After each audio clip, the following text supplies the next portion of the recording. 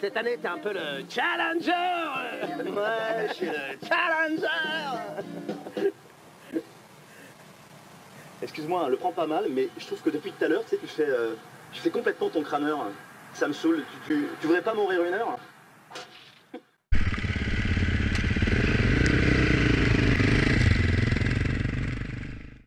Condition difficile avec